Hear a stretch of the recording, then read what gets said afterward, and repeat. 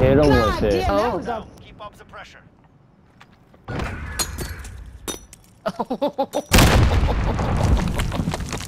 I'm clipping that. I don't know what it's been,